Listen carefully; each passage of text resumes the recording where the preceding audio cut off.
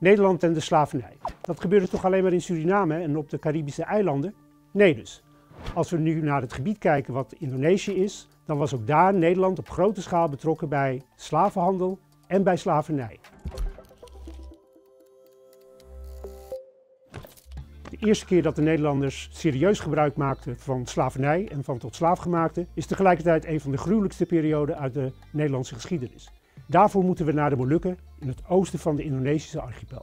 In de Molukken liggen de Banda-eilanden. Die zijn zo klein dat je ze op de kaart bijna niet meer ziet. Maar het was wel de enige plek waar vroeger nootmuskaat voorkwam. En nootmuskaat, daar betaal je nu misschien 2 euro voor.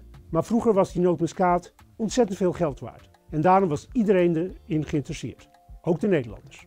De Nederlanders wilden dat de lokale bevolking die nootmuskaat alleen aan hen verkocht. Maar de mensen wilden dat niet. En daarom werd in 1621 een grote vloot onder leiding van Jan Pieterszoon Koen naar de Banda-eilanden gestuurd en het grootste gedeelte van de bevolking, ruim 10.000 mensen, werd of om het leven gebracht, tot slaaf gemaakt, in gevangenschap afgevoerd of wist te ontvluchten. En van de ongeveer 10.000 inwoners waren er naar schatting nog maar 1000 over. Vervolgens hadden de Nederlanders een praktisch probleem. Want wie moest nu die nootmuskaat uit de bomen halen? Daarvoor werd op grote schaal gebruik gemaakt van tot slaafgemaakte mensen uit gebieden zoals Madagaskar, India, Sri Lanka, Java en Papua. Dit alles speelde zich af in het begin van de 17e eeuw. De eeuw die wij lange tijd de Gouden Eeuw hebben genoemd.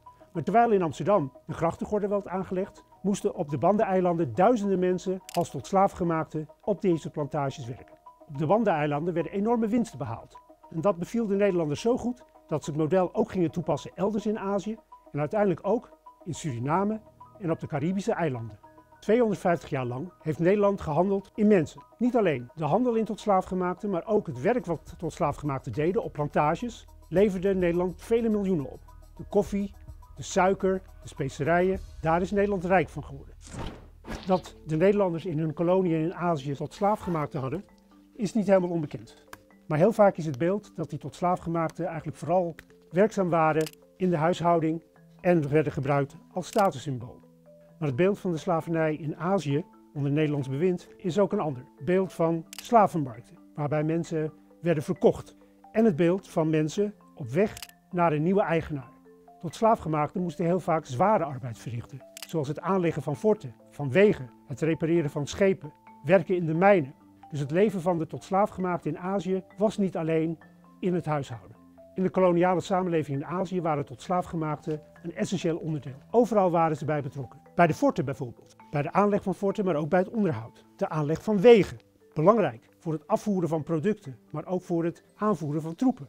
In de kerk en in huishoudens. Als bediende van de Europeanen. In de mijnen om grondstoffen te derven. En natuurlijk ook op de plantages. Waar met arbeid van tot slaafgemaakte mensen producten werden geteeld voor de export naar Europa. Met de afschaffing van de slavernij is iets opvallends aan de hand. In Suriname en op de Caribische eilanden wordt de slavernij officieel op 1 juli 1863 afgeschaft. Dat is ook de dag waarop nu jaarlijks Kitty Kotti, het verbrekenen van de ketenen, wordt herdacht en gevierd. Maar de mensen die tot slaaf gemaakt waren, die moeten vervolgens nog 10 jaar lang onder staatstoezicht op diezelfde plantages blijven werken. En daarom zijn er ook nazaten die zeggen: nee, eigenlijk zijn we pas in 1873 echt vrij geworden. In Nederlands-Indië is de situatie ingewikkelder. Een deel van het gebied wordt rechtstreeks door Nederland bestuurd, een ander deel indirect, via lokale vorsten. In direct door Nederland bestuurde gebieden in Nederlands-Indië wordt de slavernij op 1 januari 1860, dus drie jaar voor de afschaffing in de Amerika's, afgeschaft. In indirect bestuurde gebieden duurt het veel langer. Bijvoorbeeld op Bali daar is het pas in 1877 het geval. En waarschijnlijk heeft het nog tot 1914 geduurd voordat de slavernij tot een einde komt in de hele Indonesische archipel. Windmolens bouwen op zee. Dat is handig, want dan hebben wij er geen last van. Maar vissen en andere zeedieren wel.